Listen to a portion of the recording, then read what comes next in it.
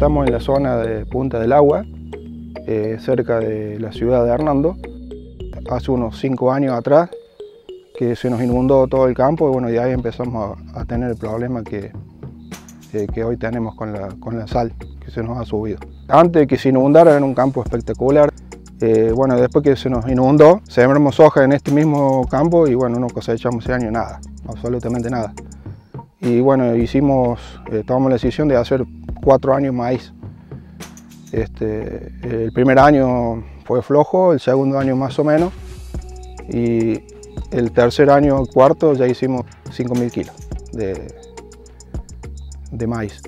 Y bueno, este año gracias a Umiplex, este, eh, le pudimos hacer soja, bueno, y los resultados están a la vista, hay, por lo menos vino, está, está linda, está bien, bien granada, bien, está bien, bien, bien linda la soja. Eh, gracias a Hernando, eh, que me dio la posibilidad de conocer este producto, un Miplex, donde lo probamos en trigo y bueno, ahora lo estamos probando en soja.